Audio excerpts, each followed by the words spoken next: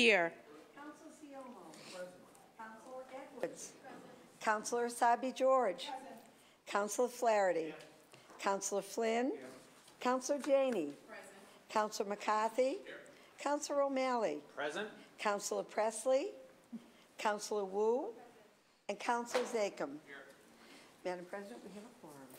Thank you, Madam Clerk. I've been informed by the clerk that a quorum is present.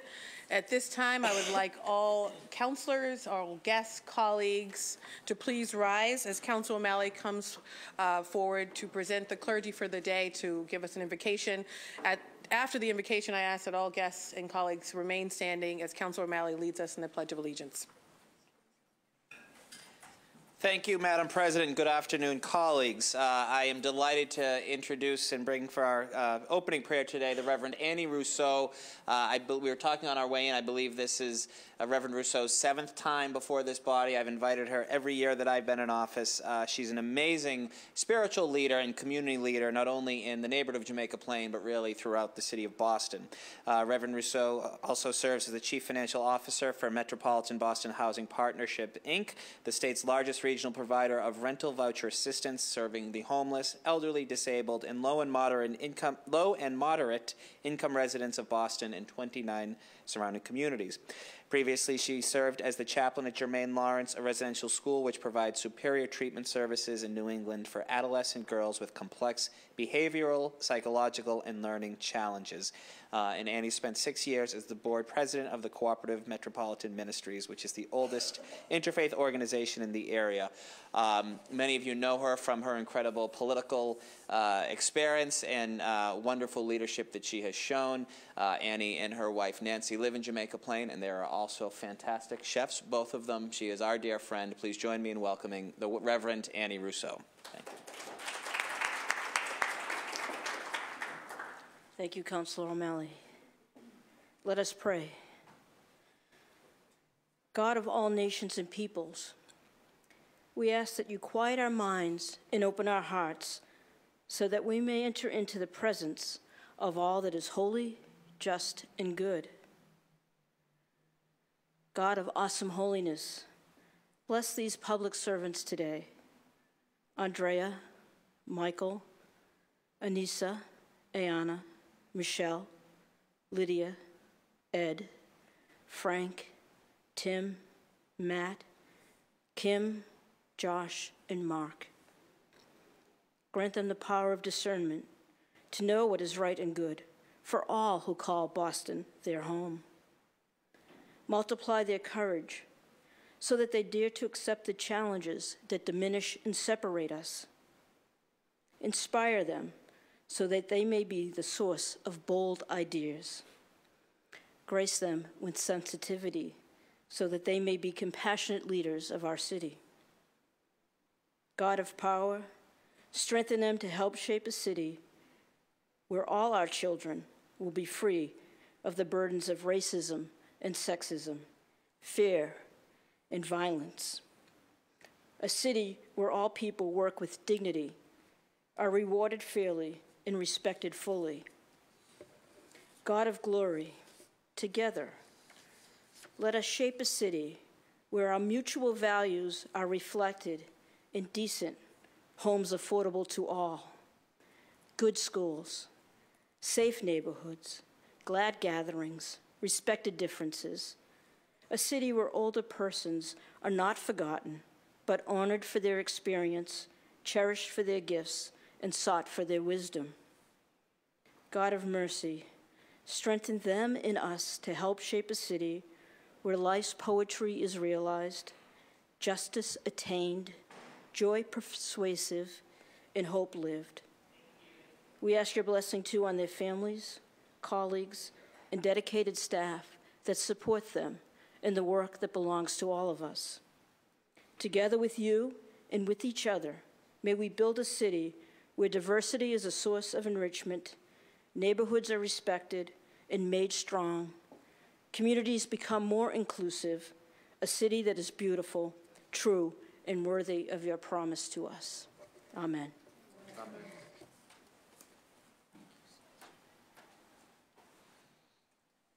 I pledge allegiance to the flag of the United States of America and to the republic for which it stands, one nation, under God, indivisible, with liberty and justice for all.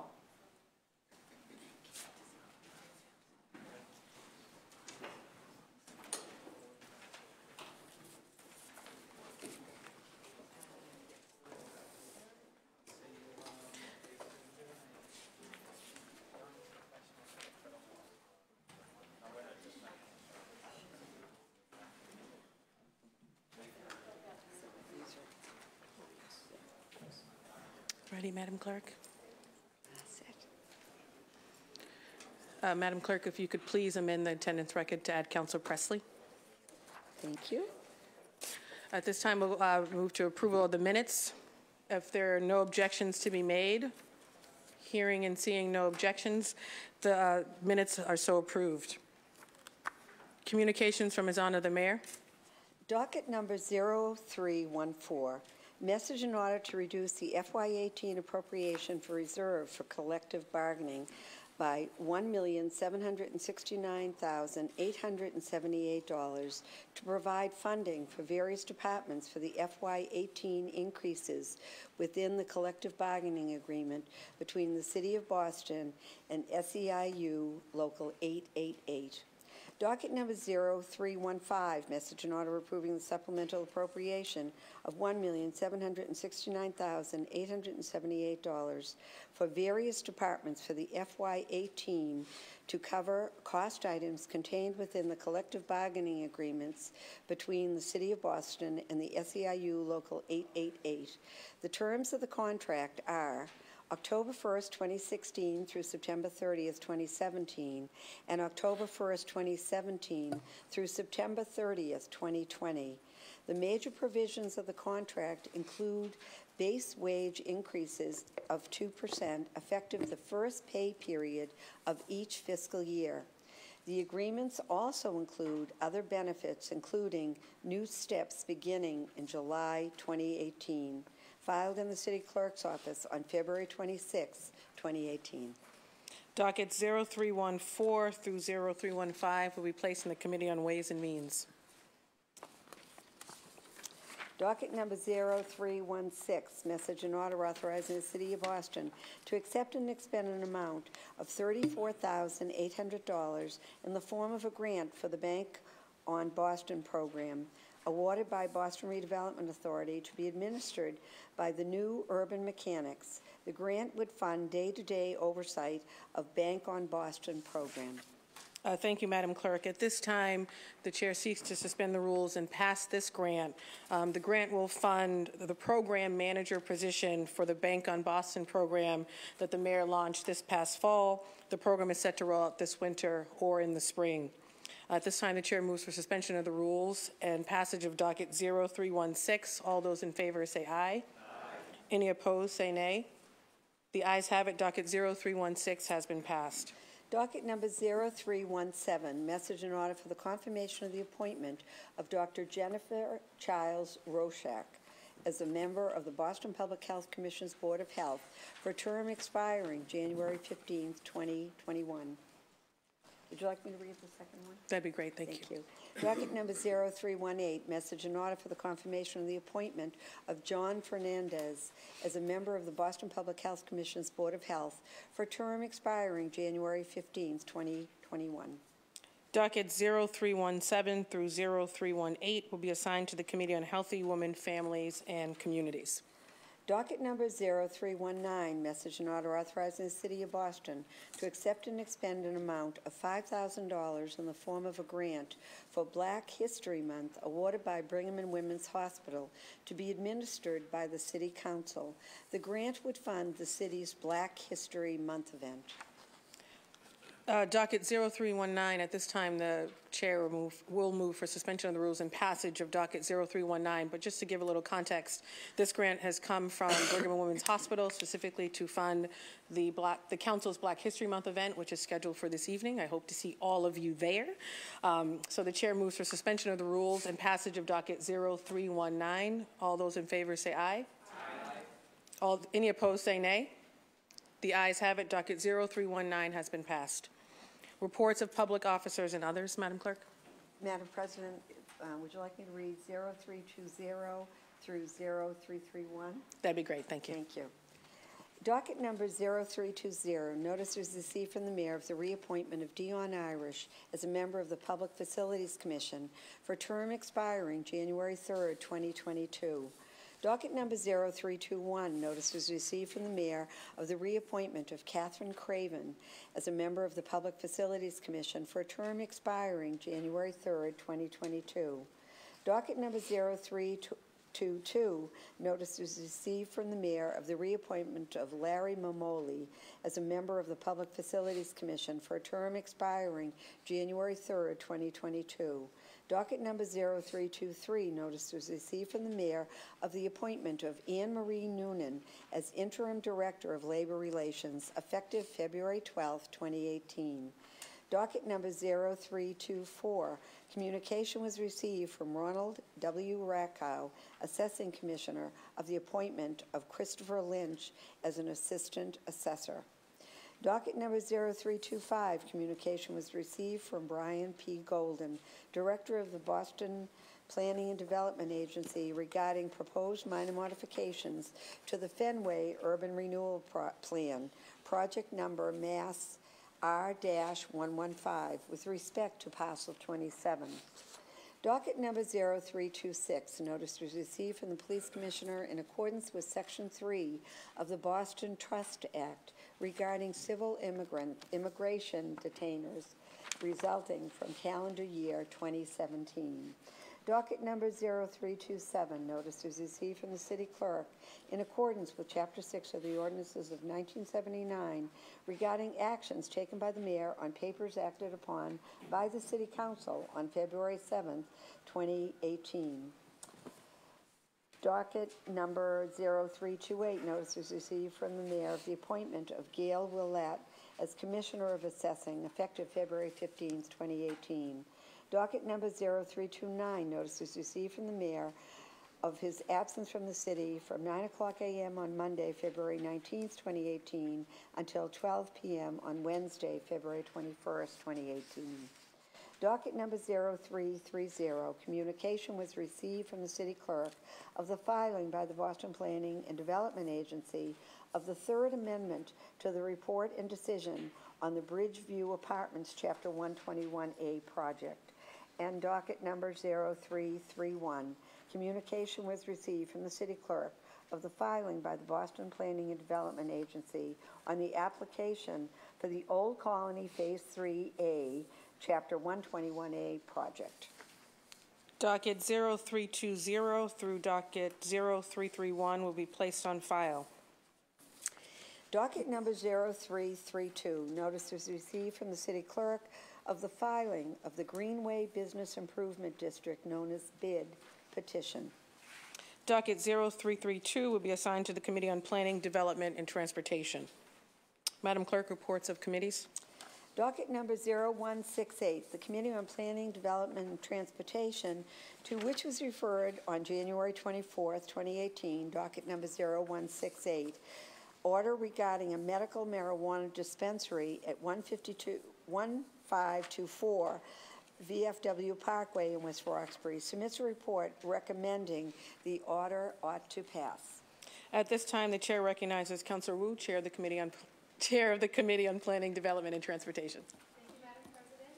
I'm going to sponsor and district counselor for the area in which the proposed medical marijuana dispensary uh, will be located for further comment. Just want to outline that this step is part of uh, sort of standard operating procedure, given the Department of Public Health's uh, process for how applicants for medical marijuana dispensary licenses need to proceed.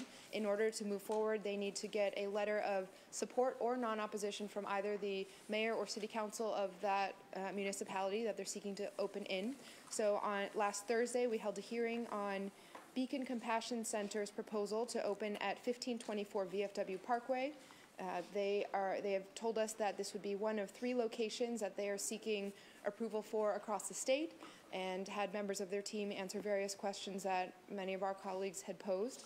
Uh, They did mention that they are agreeing to a proviso that this would be only uh, approved for medical marijuana purposes and um, had gone through a lengthy community process as requested and um, guided by the district counselor. So I'll defer to our district counselor, Matt O'Malley, for further comment, but uh, would like to move passage of, sorry, would like to move for acceptance of the committee report and passage of the docket, which would mean we would issue that standard um, letter of non-opposition. Thank you. Thank you, Councilor Wu. Councilor O'Malley, you have the floor. Thank you, Madam President, thank you, Madam Chair, uh, for the thorough process. Um, And we are joined by several of the, the owner, Rena, and her team from Beacon Compassion, who's with us in the chamber today. I first met with Beacon Compassion a better part of a year, or more than a year ago now, um, in this very in this in this very hall, not in this chamber. Uh, and I had two requests: one, to agree to be a medicinal-only facility, and to conduct as robust a community process as humanly possible. Uh, I am very satisfied that they have agreed to both. Uh, in fact, there was a time where uh, they had requested uh, some action to be taken earlier, and I said that I was not comfortable doing that and would not do that until they were able to meet with more people, engage more neighbors, and they did just that. Uh, so there are four different neighborhood and civic associations that I want to touch upon that have agreed to uh, uh, issue also letters of non-opposition. Uh, one was the West Roxbury Neighborhood Council, I believe that was the first one, which is a- an appo- mayoral appointed board that oversees and deals with sort of zoning for the entire neighborhood. Uh, The second, I believe, was the West Roxbury Civic and Improvement Association, which is a civic association concerning primarily the neighborhoods of Washington Street, sort of east into Councilor McCarthy's district, abutting Councilor McCarthy's district, uh, which is a close-by neighborhood association. Uh, The third was the 1515 VFW Parkway uh, Trailer Park, which is Boston's only trailer park, which I am proud to represent, a thriving, wonderful community, uh, which is the closest to Butters, residential Butters, to Beacon Compassion's proposed location, uh, that ended up writing a letter of non-opposition as well. And then fourthly, the Charles River Spring Valley Neighborhood Association, which I guess would be the most, the closest neighborhood association for this proposed location. All four uh, bodies either wrote letters or took statements uh, in non-opposition, uh, provided that this facility remain a medi- uh, medicinal marijuana only, which was my position as well. Um, It wasn't easy to do, and there are many questions that uh, Beacon Compassion had to deal with the neighbor, but they did that, and I commend them for conducting as robust a process as we've seen for a business like this. Uh, Still, this, you know, we are dealing with this now because this is the law of the land, and there seems to be some confusion as we get to recreational. Um, But one of the reasons why I feel so strongly that medicinal only is needed is because that's precisely what this is. This is medicine. Um, we don't have to get into because we all know what the, the scourge of opiates has been. And in many cases, for many patients, medicinal marijuana is a far preferable treatment to help to deal with someone who's dealing with a chronic uh, or fatal disease. Um, we've all lost loved ones. I, many of you know, was three years ago next month that I lost my sister to cervical cancer. Uh, towards the end of her life, she was given medicinal marijuana, and it helped her quality of her life. Uh, the fact that it helped her eat half a cheeseburger when she couldn't keep food down is something that will always stick with me, is, is a great memory in an otherwise incorrigible time. Um, so this is the, what this is about. I've heard from some people who are very upset about this, and I, and I understand it. This is, this is, this is a change.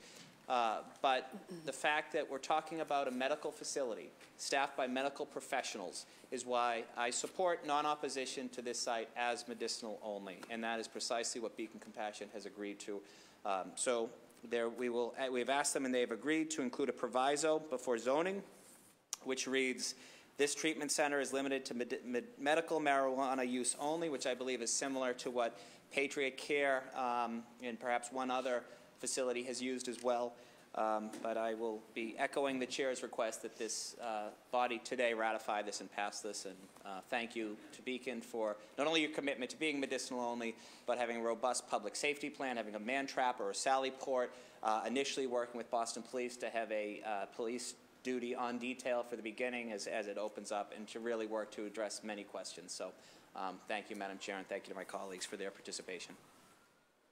Thank you, uh, Council O'Malley, and thank you for sharing. Um, At this time, Councilor Wu's Councilor Wu moves for acceptance of the committee report and passage of docket 0168. All in favor, say aye. Any opposed, say nay. Docket 0168 has been passed, and the operator will be granted our standard letter of non-opposition. Docket 01... With that proviso that it will remain exclusively for medicinal marijuana. Thank you, Council O'Malley. Madam Clerk? Docket number 0139, Committee on Planning and Development Transportation, to which is referred on January 24th, 2018.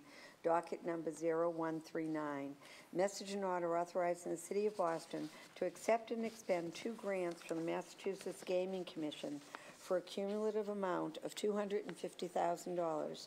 The purpose of the grant is to fund a portion of the city's costs for the design of the Rutherford Avenue slash Sullivan Square project. Submits a report recommending the order ought to pass. Thank you, Madam Clerk. Uh, Chair recognizes Council Wu, uh, the Chair, the Chair of the Committee on Planning, Development, and Transportation. Thank you, Madam President. Uh, This, I think as mentioned at our last meeting two weeks ago, we had, just before that meeting, had a hearing on this particular grant, $250,000 from the Mass Gaming Commission to fund this, uh, to help the city pay less in terms of our obligation that we're sharing with the state to get to 25% design for this corridor, uh, something that's been 20 years in the making. And uh, at the hearing, there was some, there were some questions that came up about design alternatives and whether particular alternatives had been evaluated and to what degree. So we had paused last meeting to give a chance uh, for the Transportation Department and um, some proponents of an alternative design to huddle up. Uh, that meeting has happened, and while there are still questions that I know the district counselor will be pursuing further, um, my intention was never to hold up the design, which, uh, sorry, the grant, which is uh, going to reduce the city's obligation. We want some design to happen. We want the project to happen. Uh, the residents of Charlestown desperately need the infrastructure improvements there to relieve the traffic situation, particularly with all the development planned in the area. Uh, and so we want to get them to that design and stay on track for the federal funding to happen.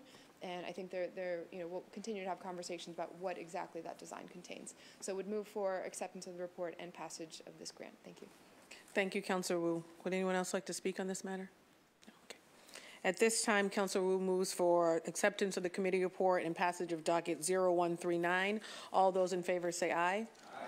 Any opposed say nay. The ayes have it. Docket 0139 has been passed. Docket number 0164, order for hearing regarding the fiscal year 2018 Boston Public Schools transportation budget. Councilor Essaibi George, you have the floor. Uh, Madam President, uh, yesterday I chaired a productive hearing regarding the fiscal year 2018 BPS school BPS transportation budget, and I'd like to thank all of my colleagues. Everyone was there at some point yesterday uh, for attending this uh, very thorough and thoughtful hearing. We heard from John Hanlon, Chief of Operations for BPS, as well as Rob Consalvo, Chief of Staff for the Superintendent of uh, Boston Public Schools, as well as a number of other folks that lent their voices during the uh, hearing. BPS is anticipating a total spending for fiscal year 18 to be $123 million. That's $7 million more than what we were presented with during the fiscal year 18 budget process. Much of this rise is due to the cost of our driver and bus contract and related costs to um, the exception times, um, which is when the driver is driving beyond what is designated in part of their contract en route, and for standby drivers who are acting as backup drivers performing routes when active drivers are not available. There are currently 35 of the 750 bus drivers suspended with pay, a few of them under investigation through the Department of uh, Children and Families, and a, um, a number of them on leave for other reasons, and those are ongoing investigations. But unfortunately, they are out currently with pay, uh, which is a substantial expense to the district. The contract with TransDev, the current transportation vendor, will be expiring at the end of this school year, and BPS is currently in the process of putting out an RFP uh, for the next contract cycle. We were also informed that BPS is uh, in the process of leading an opt-out campaign uh, started at the uh, beginning of this school year and continuing through the year to identify students who do not ride the school buses, although they are uh, assigned to a bus. And this opt-out could help reduce the number of bus stops and routes. So far, 2,200 students have been taken off of this list, and this reduction um, has certainly helped realize some savings, and over a period of time, they hope to uh, realize a few more. When a family opts out of transportation, there is always an opportunity to come back on uh, to a bus route should family circumstances change. A large percentage of our transportation spending, over $56,000 per student, is to transport students to private education facilities requiring, uh, when students require special ed services out of district. There are currently 166 students being transported to 63 different locations. This is a growing number of students, uh, but they've been identified as requiring these out-of-district placements. I um, was certainly displeased, not thrilled to hear of this increase in spending for this current fiscal year, uh, but trust that BPS is looking for ways to improve um, family engagement and, and reduce, reduce spending. And they have, you know, set some goals to realize those savings, whether it's a conversation and hopes to change some bell times, looking to create more efficient routes, working on that opt-out plan. All of those are good pieces and, and parts of the conversation as well as a few others.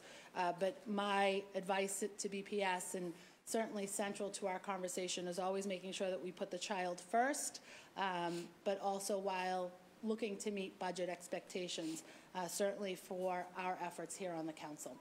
And I thank you all for uh, joining yesterday and participating in a, uh, a very robust and thoughtful conversation. Thank you, Council President. Thank you, Councilor Essaibi George. Would anyone else like to speak on this matter? Councilor O'Malley, you have the floor.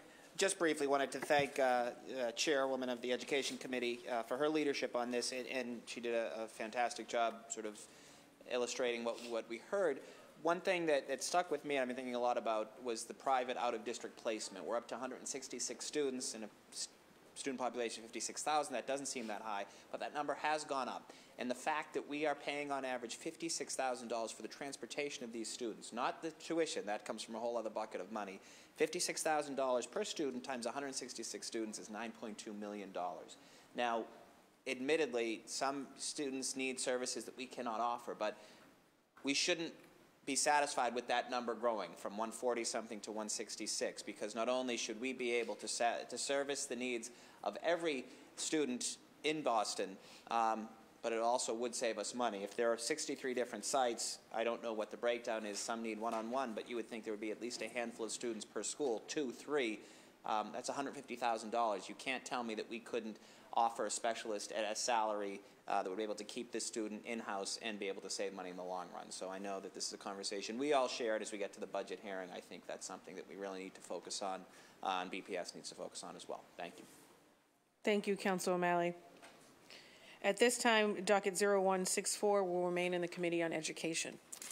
Docket number 0257, message and order approving the City of Boston to accept the right to enforce a use restriction to ensure that the Huntington Theater continues to be used as a theater or sim similar cultural use. The chair recognizes Councilor Janey, uh, the chair on Committee of Arts, Culture, and Special Events. Thank you, Madam President. 0257, message and order approving the City of Boston to accept the right to enforce a use restriction to ensure that the Huntington Theater continues to be used as a theater or similar cultural use was referred to the Committee on Arts, Culture, and Special Events on February 7th. I had a hearing on this matter on February 27th to hear testimony. At that time, we heard from uh, Joyce Linehan, Chief of Policy, and Jonathan Green, Greeley from the BBTDA, um, and they give a presentation. Uh, what is important to recognize is that this project is mixed use. In addition to keeping the theater uh, for 100 years as a cultural use, we will also have over 400 residential units as well as retail and restaurant space.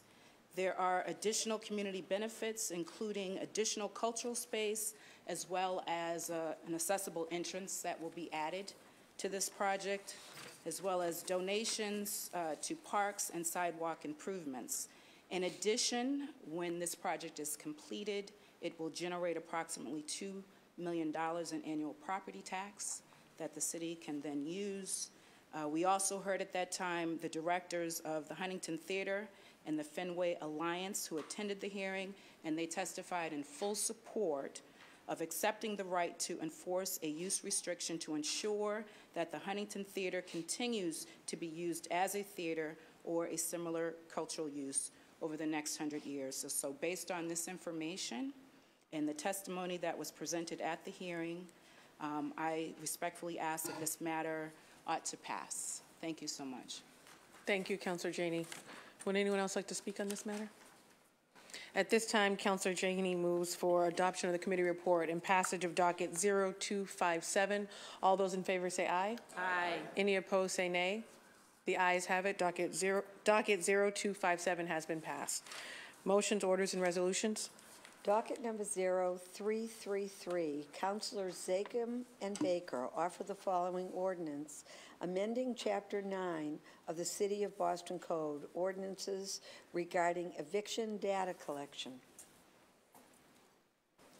Counselor Zakim, you have the floor. Uh, Thank you, uh, Madam President. This is uh, a refile that Councilor Baker and I worked on last year in uh, conjunction with the Jim Brooks Stabilization, Stabilization Act, otherwise uh, known as Just Cause Eviction, um, which, you know, this body and the mayor sent up to the State House uh, last year. But there were some components of the bill that we wanted to try and put in place quickly, uh, particularly around where evictions were happening in the city of Boston.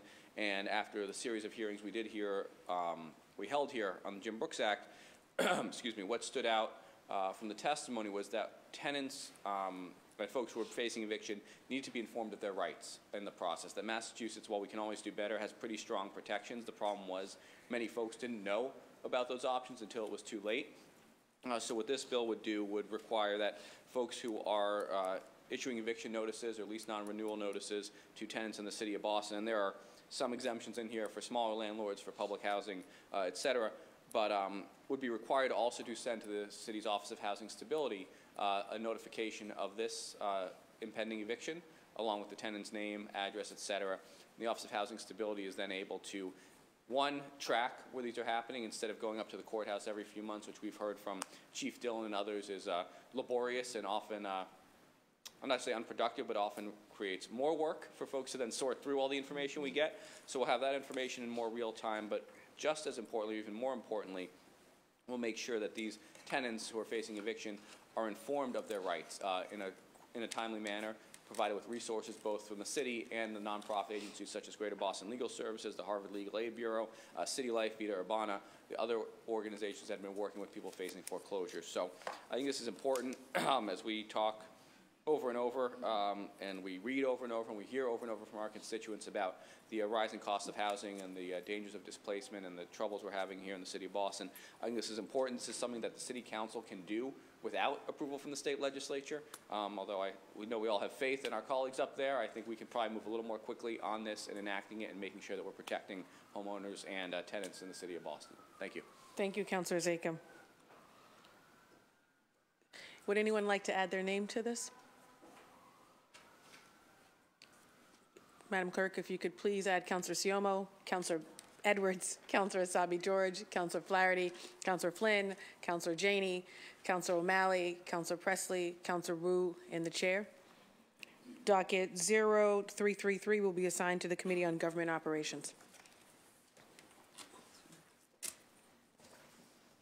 Docket number 0334, Councilor Pressley offered the following resolution urging the state legislature to support House Bill 3586, an act relative to justice-involved women.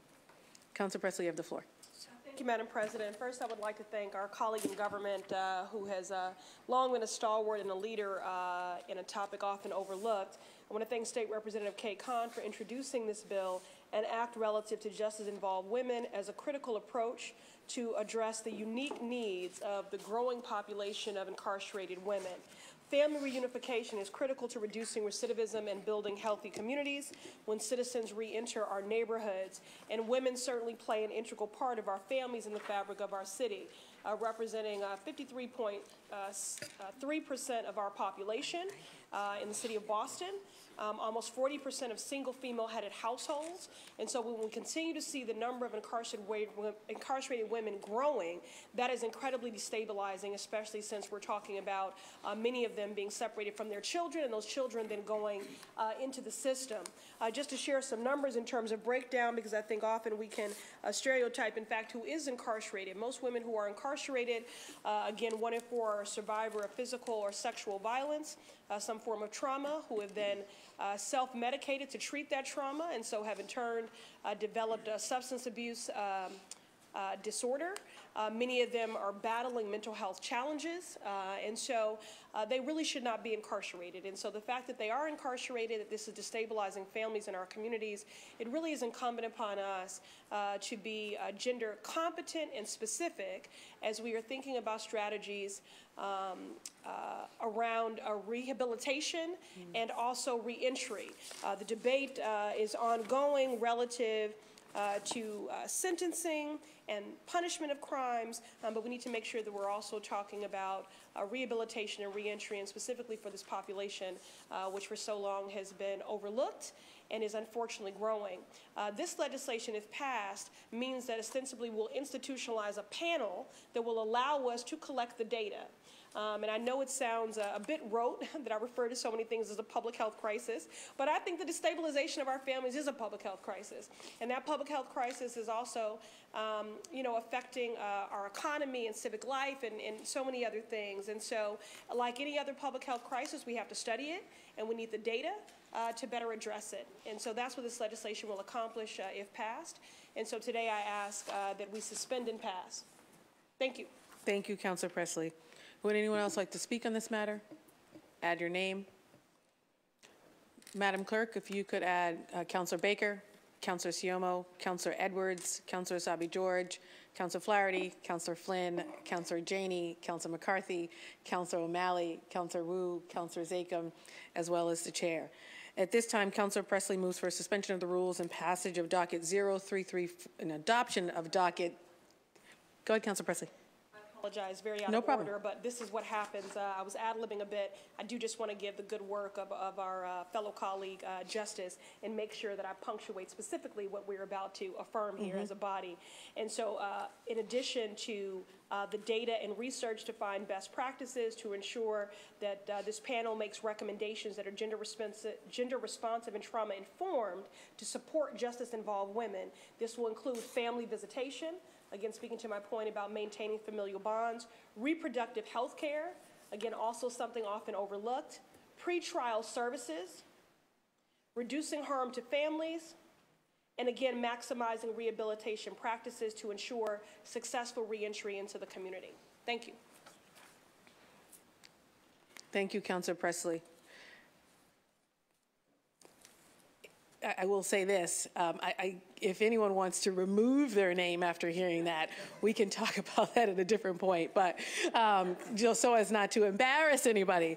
So for right now, exactly, for right, exactly. So for right now, on docket number 0334, Counselor Pressley moves for suspension of the rules and adoption of the resolution. Um, all those in favor say aye. Any opposed, say nay. The ayes have it. Docket zero, the rules have been suspended and docket 0334 has been adopted. Docket number 0335, Council Ciommo offered the following order for hearing regarding post-audit budget review. Docket 0335 will be assigned to the Committee on Ways and Means.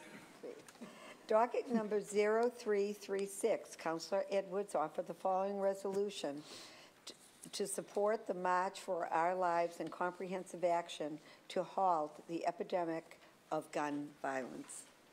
Counselor Edwards, you have the floor. Thank you, uh, Madam President. I think it's very evident that um, many people here already have been impacted by shooting and violence in our country. I distinctly recall in 1999, I was a senior in high school when Columbine happened. And while that was in Colorado and I was in a small town in Michigan, we, I still certainly felt the effect and felt fear suddenly of trying to go to school. What we're seeing increasingly is that that fear is not only growing, but that it's impacting the way people go to school, but also how they teach. Um, to bring up my uh, colleague yesterday, she had incredible um, my colleague, uh, Counselor Annissa Essaibi- Essaibi George, had incredible comments yesterday that were quite emotional about how the impact on teachers and that we ask already so much of them to come to school and to compensate and to compensate, and now apparently to potentially also wage war on other students to protect our own. This is, to echo uh, my, co- uh, my colleagues' comments, this is also a public health crisis. This is a health crisis of gun violence in the United States. And I thought it was important that we as the City of Boston stand firmly in solidarity in this conversation. While we may not have, thank God, have not had a, a school shooting, uh, we do have violence on our streets that is directly related to gun violence. The statistics are staggering. Uh, when we did the research for this, for this resolution, the fact that uh, since 1968, the number of gun-related violent deaths is actually the more than any of, of, of all the wars combined that we've had since our inception. The fact that um, since 2012, Sandy Hook, we've had um, 239 school shootings, uh, of which 138 people have, have, have been perished or have been killed. We are in, this has been declared a public health crisis by the American Public Health Association. And so I bring this up um, not only because we need to firmly express our solidarity in that when they grieve, when people grieve around this country, Boston grieves too. The fear that they fear, we, we also feel here. But also to be very clear, there are children leading the way in this conversation and that we should also be proud about the fact that they are stepping up in such huge ways. There will be a March for Our Lives here in March in Boston. I certainly will be there, and I hope my colleagues will also be there to show our solidarity, to stand behind them, and to be the advocates that they so desperately need in our go government, and also to push for um, reasonable gun control uh, in our in our state, including um, the Extreme Risk Pr Protective Order, House Bills H3081. So in short, I'm going to close my remarks. I'm, I'm sure that many of you already resoundingly support standing with these kids and standing up for a society where we don't fear going to school and where our teachers are more than prepared to educate our kids, not necessarily to have to defend them. And so I'll close the remarks and um, leave it at that. Would you like to, Oh, uh, yes, Councilor Edwards, to move for suspend- Yes. suspension of the rules and Yes, you. adoption? Okay. Thank you, Councilor Edwards. Uh, Councilor Essaibi George, you have the floor. Thank you again, Madam President. I rise today to thank the maker, Council Edwards, and ask that my name be added. As a former Boston Public School teacher, as a mother, as a chair of the Committee on Education, I take this issue very seriously. It is a topic that keeps me up at night. It is a conversation I have had with my children. It is a conversation I've had with my office. It is a conversation I've had with my colleagues in education, and it is one I've had with residents across the city of Boston. It's one that we had um, last night. We are losing innocent lives across the country and in our great city because of gun violence. For many of our students, schools are their safety net, the most stable part of their lives. I thought of school shootings in the vicinity of our school buildings. The thought of shootings in the vicinity of our school buildings is a painful nightmare that weighs on, weighed on me throughout my teaching career, and it doesn't fail to keep me up now as a parent and as a city councilor. Whether this is a conversation about regulating guns, bringing more support for our youth and their families into our school, schools, and for us to use as a community simply caring more about each other before it becomes a crisis. We need to do more. I stand with our youth, our families, and our communities in the city of Boston and across the United States who are working to make every life, to making every life um, one that is allowed to be lived to its fullest potential. And I um, thank you for the opportunity to speak, and thank you, Councilor Edwards. Thank you, Councilor Essaibi George. Madam Clerk, if you could add Councilor Essaibi George's name. Councilor Janey, you have the floor.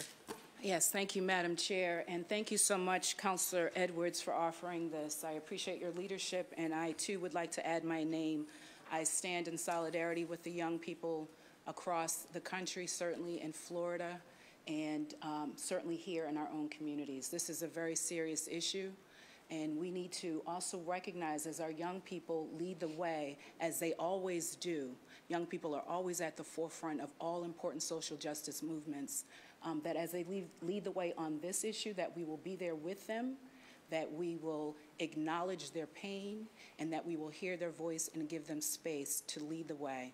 I think it's also important, though, that we recognize that while we are very fortunate and that we have not had a serious mass shooting here in Boston, our young people every single day are experiencing gun violence and trauma in their own communities. And they too have been organizing and fighting against this issue. And so we need to do more as a body, as a city, to make sure that our young people have the resources that they need and um, not just the resources that we're dealing with the trauma in our communities. And so I, I'm proud to stand with you and my other colleagues here on this body in support of this resolution. Thank you. Thank you, Counselor Janey. Madam Clerk, if you could add Counselor Janey's name. Counselor Pressley, you have the floor. Uh, Yes, thank you, Madam President, and uh, thank you, Councilor Edwards, for uh, putting this forward. Um, As we were saying in recent weeks, you know, resolutions uh, are uh, a way for us to uh, affirm and double down on our values, um, and certainly us supporting a youth voice and doing everything possible uh, to stem the scourge of this public health epidemic that is gun violence um, is certainly a value of this body. So thank you for putting this forward. Um, I also just wanted to um, affirm uh, the words that have already been said and that there is no hierarchy of hurt here. And I want to say that because there are um, forces at work that would lead you to believe something else. Um, there is solidarity in the survivor movement. There is no hierarchy of hurt here. Um, whether uh, we are robbed of a life, and that's what it is. It, we should never say a loss of life. We have been, these lives were stolen from us. So whether we are robbed of a life in a school, at a concert, in a church, or on a city block, you know, what that violence leaves in its wake is generational trauma in those impacted communities and for those families, a permanent empty seat at that dining room table. And so uh, we will not allow the powers that be to pit survivors against one another. And we will affirm youth voice. What I love about activism is that there is neither an eligibility age or a shelf life. And these young people are certainly uh, affirming that. And so uh, we should, uh, in the words of Councillor Janey, uh, continue to, to follow their lead. And finally, I would just uh, say, I am really sick and tired of people using uh, survivors who have lost or had the lives robbed from them, who've been impacted by gun violence, using survivors as political fodder or for photo ops. It has got to stop. So thank you again for this resolution, and I ask to have my name added. Thank you. Thank you, Counselor Pressley. Madam Clerk, if you could add Counselor Pressley's name. Counselor O'Malley, you have the floor. Thank you, Madam President. Um, I think the, the previous speakers and were able to much more eloquently articulate what I'm feeling, what many of us are feeling. So I just wanted to add one thing as it relates to this march, is that the young people of Parkland, Florida, uh, have given me incredible hope in that tragedy. The fact that they have pushed back, challenged, um, and really, I think, articulated what needs to be said, what needs to be done. We are sick of this. This has to end now. So, if nothing else, I hope that the young people uh, of Stoneman Douglas Elementary, particularly, but others that are putting this march together, and particularly those in our city that are leading the way, will help us retire that tired trope that Gen Z or millennials are apathetic or out of touch because they have shown more courage than many members of Congress and this president as it relates to doing something about gun violence. So please add my name. Look forward to supporting this. Thank you, Counselor O'Malley. Madam Clerk, if you could add Counselor O'Malley's name. If you could add Counselor Baker, Counselor Ciommo, Counselor Flaherty, Counselor Flynn, Counselor McCarthy, Counselor Wu, Counselor Zakim, as well as the Chair. At this time, Counselor Edwards moves for suspension of the rules and adoption of docket number 0336. All those in favor say aye. aye. Any opposed say nay. The ayes have it. Docket 0336 has been adopted. Personnel orders, Madam Clerk. Docket number 0337, Counselor Campbell for Counselor Essaibi George. Uh, Counselor Essaibi George moves for suspension of the rules and adoption and passage of docket 0337. All those in favor say aye. Any opposed, say nay. The ayes have it. Docket 0337 has been passed. Docket number 0338, Counselor Campbell for Counselor Essaibi George. Counselor Essaibi George moves for suspension of the rules and passage of docket 0338. All those in favor say aye. aye. Any opposed, say nay. The ayes have it. Docket 0338 has been passed. Docket number 0339, Counselor Campbell for Counselor Edwards. Counselor Edwards moves for suspension of the rules and passage of docket 0339. All those in favor say aye. Aye. Any opposed say nay. Dockets, zero, the ayes have it, docket 0339 has been passed. Docket number 0340, Counselor Campbell, offer the following order. The chair moves for suspension of the rules and passage of docket 0340. All those in favor say aye. Aye. Any opposed say nay. The ayes have it, docket 0340 has been passed. Docket number 0341, Counselor Campbell, offered the following order. Docket 0341, the chair moves for suspension of the rules and passage of docket 0341. All those in favor say aye. Aye. Any opposed say nay. The ayes have it, docket 0341 has been passed. Docket nu- number 0342, Counselor Campbell, offer the following. The chair moves for suspension of the rules and passage of docket 0342. All those in favor say aye. Any opposed say nay. The ayes have it, docket 0342 has been passed. This time, how many do we have? Just one, right? At this time, I'm informed by the clerk that we have one late file matter, which in the absence of objection will be added to today's agenda. Hearing and seeing no objection, the late file matter has been added. Madam Clerk, if you could read the first late file matter, and the only late file matter. Thank you. Offered by City Councilor Ayanna Pressley. Resolution urging the state legislature to support House Bill 632 and House 4159, an act demanding justice for Massachusetts campus sexual assault survivors. Whereas nearly one in five women and one in 16 men will be victims of sexual violence col- on college campuses, yet despite its pervasiveness, it is often un- underreported. Therefore, be it resolved that the Boston City Council, in meeting assembled, go on record in support of House Bill 632 and House Bill 4159 to ensure Massachusetts colleges and universities remain intolerant of sexual violence and committed to the protection and security of victims and survivors within its jurisdiction. Filed on February 28, 2018. Thank you, Madam Clerk. Uh, Councilor Pressley, you have the floor. Uh, Thank you, Madam President. I apologize, apologize for the late file, but this is a- an important matter that's currently being debated at the State House.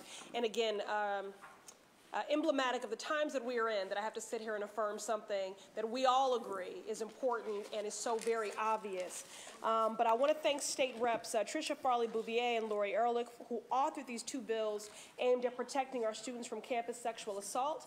I do think the stats bear repeating because many people think sexual assault uh, only affects women.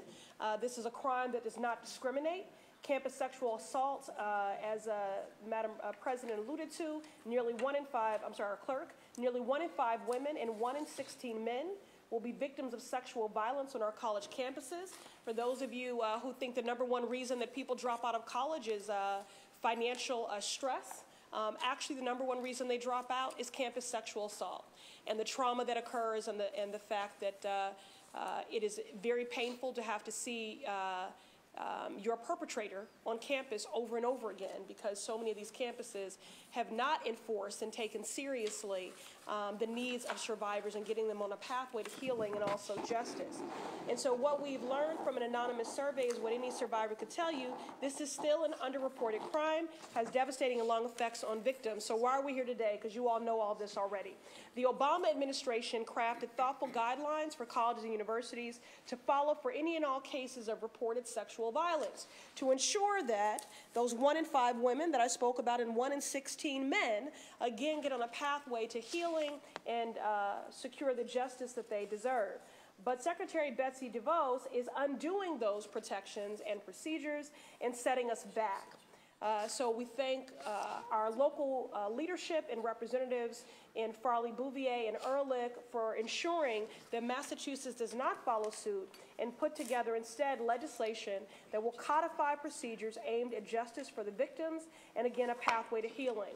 So this legislation will ensure that the Obama era requirements of Title IX not only stay in place in the Commonwealth, but actually are strengthened. This bill will require colleges and universities in Massachusetts to continue conducting research-based sexual misconduct surveys to provide ongoing prevention, education, and training programs for students, and to assemble review panels tasked with implementing and monitoring campus response networks, holding us all collectively responsible. And so that is why I'm asking for your support for these two bills, so that we can send a message that here in Massachusetts, regardless of what that man that occupies the White House is doing and those who work under him, we have zero tolerance when it comes to sexual assault, and we stand with survivors. And so I uh, move to suspend the rules and adopt this resolution today. Thank you. Thank you, Counselor Pressley. Anyone else looking to speak on this matter? Madam Clerk, if you could add the following names. Counselor Baker, Counselor Ciommo, Counselor Edwards, Counselor Essaibi George, Counselor Flaherty, Counselor Flynn, Counselor Janey, Counselor McCarthy, Counselor O'Malley, Counselor Wu, Counselor Zakim, and the Chair. At this time, Counselor Pressley moves for suspension of the rules and adoption of the first um, and only late file matter. All those in favor say aye. Aye. Any opposed say nay. The ayes have it. The late file matter has been adopted. At this time, anyone wishing to remove uh, a matter from the green sheets may do so at this time. Hearing none. Um, I'm informed by the clerk that there are zero late file matters um, to add to the consent agenda. At this time, the chair moves for adoption of the consent agenda. All those in favor say aye. Aye. Any opposed say nay. The consent agenda has been adopted. At this time, I will recognize Councillor O'Malley. For what Thank- purpose do you rise? I ask unanimous consent to make a brief statement. Yes. Thank you. Uh, If you'll indulge Everyone's me, sort of I have a brief note to read from our friend Bud Waite, uh, whom this council honored at our last meeting. Um, It reads, Dear Matt and the entire city council, I was most appreciative and thrilled and honored with your invitation to the city council meeting last week. It was a most gratifying experience. All the many years I've been a resident of Boston, this was the first time I had gone to the city council chamber and a meeting. All the good things you have said about me over time have been great, and so much thanks are in order. I was very honored to meet the many counselors with their congratulations and good wishes. Thanks to you, many thanks to my dear friend Linda Denikamp for taking good care of me all day. So to you, Matt, and Jessica, and Bill, and your entire staff, thanks again for all your kindness and for all you have done for me and what you mean to me. Best wishes always, Bud Waite. P.S. If you have a chance, perhaps you could read this note at the council meeting. when a World War II veteran and a French Legion of Honor uh, winner asks you to read a note at a council meeting, you, You do do. So uh, Bud Wade, I think, joins Mr. McCarthy in watching this. So how about a, one more round of applause for our friend Bud Wade? Thank you. That is wonderful. Thank you so much, Councilor O'Malley. Uh, Councilor Essaibi George, you have the floor. Uh, Thank you, Madam President. I request unanimous consent to make a brief statement as well. You have the floor. Go ahead. Thank you. Um, On Friday of this week, March 2nd, I am hosting a free CPR uh, training uh, for anyone here at City Hall uh, that would like to participate. I am covering the cost of the instructors, and we've got a number of folks signed up, and I'm excited about it. I'll also be providing lunch. Uh, So I do uh, ask if any of you... We'll see. We'll see who shows up. Um, But it'll be a good lunch. It'll be a good lunch. And I, uh, I look forward to um, getting recertified myself in CPR and uh, looking forward to certifying lots of folks here in the building. So thank you. Thank you, Councilor Essaibi George, and thank you for extending the invitation um, to all of our offices as well. And speaking of lunch, just a friendly reminder that we have uh, Council Wu's lunch after the meeting today. Um, At this time, I would like all guests and members to please rise as the council prepares to adjourn today's meeting in memory of the following individuals. For Councilor Baker, Marion McDonough. For Councilor Edwards, Dolores Lazarino. For Councilors Flaherty and Flynn, Carmine Cafaso, Joan Roberts, Teresa Fleming, and Helen Anderson. For Councilor Janey, Manuel Sokota Cabral. For Councilor McCarthy, Ellen T. Patton and Coach Hank Cutting. For Council O'Malley, Councilors O'Malley and Zakim, Deanne Kenny Stryker, and for all counselors, John Hines, Betty Davis Knott, and the student victims of the mass shooting at Mar- Marjory Stoneman Douglas High School in Parkland, Florida. A moment of silence, please.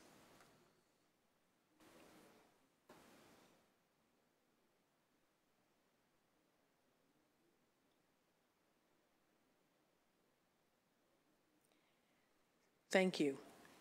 At this time, the chair moves that when the council adjourns today, it does so in memory of those aforementioned individuals. And we're scheduled to meet again on Wednesday, March 7th at 12 noon in this chamber at Boston City Hall. All those in favor of adjournment, say aye. Any opposed, say nay. The ayes have it. The council is adjourned.